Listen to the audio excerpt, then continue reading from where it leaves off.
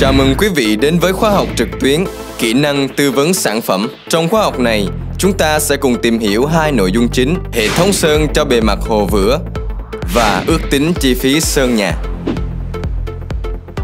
Một hệ thống sơn hoàn chỉnh cho bề mặt tường hồ vữa thường được thiết kế để giải quyết ba vấn đề chính. Một là độ thô ráp, xù xì của hồ vữa. Hai là các tác động đến từ bên trong tường.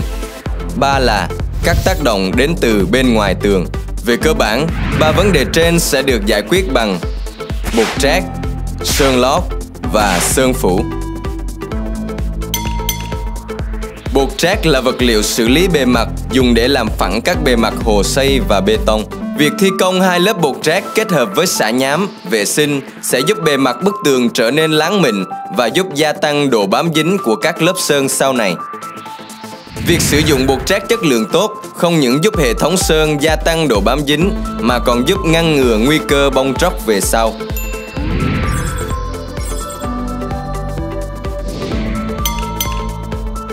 Trên thực tế, thô ráp sushi chỉ là biểu hiện bên ngoài, có thể thấy được từ lớp hồ vữa.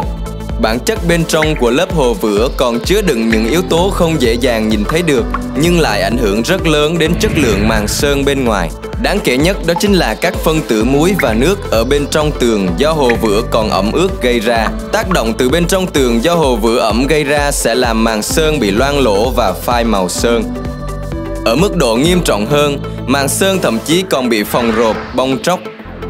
Ngoài ra, tường hồ vữa là một kết cấu rỗng nên luôn luôn thấm hút sơn vào bên trong bề mặt. Điều này dẫn đến màu sắc và độ bóng của hệ thống sơn kém chuẩn xác và hao hụt sơn tăng lên. Để giải quyết những vấn đề này, chúng ta cần phải thi công một lớp sơn lót. Đây là lớp sơn được thiết kế nhằm tạo ra một lá chắn giúp ngăn chặn các tác động từ hồ vữa nói trên. Việc thi công sơn lót sẽ giúp hệ thống sơn tăng cường độ bền màu, tạo độ bám dính tốt, phát huy hiệu quả các tính năng trên sơn phủ.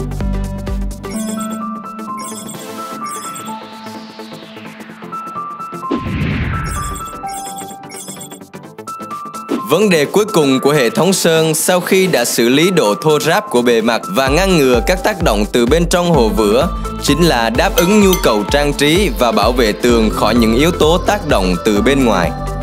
Những tác động từ bên ngoài lên bề mặt tường giữa các khu vực trong nhà và ngoài trời là không giống nhau. Trong khi tường ngoài trời tiếp xúc trực tiếp với các yếu tố thời tiết như nắng, mưa, rêu mốc, bụi bẩn thì đối với tường trong nhà tần suất tiếp xúc giữa người sử dụng và bề mặt màng sơn lại thường xuyên hơn.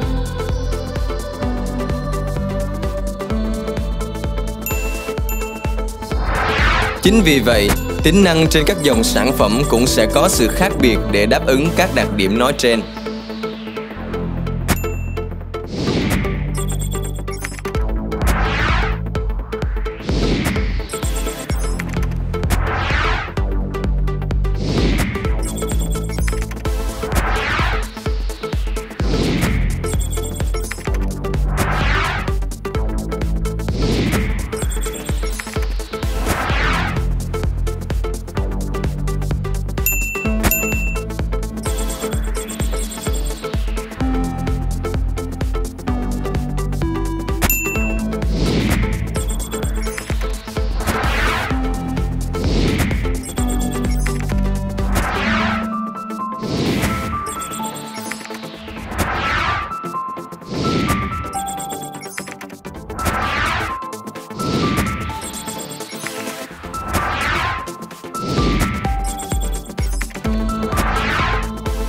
Ngoài ra, tất cả các sản phẩm của sơn nước Dulux Maxilite luôn hướng đến an toàn, sức khỏe, môi trường đó là đạt chứng chỉ xanh Green Label, được chứng nhận từ Singapore, nhẹ mùi, không thêm chì, thủy ngân và có độ phủ tốt.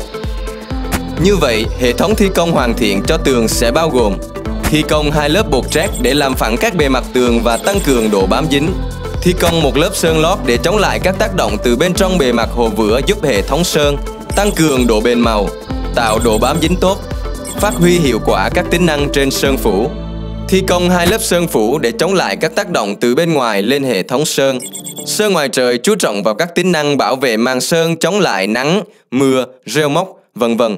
Sơn trong nhà chú trọng vào độ láng mịn, lau chùi, kháng khuẩn.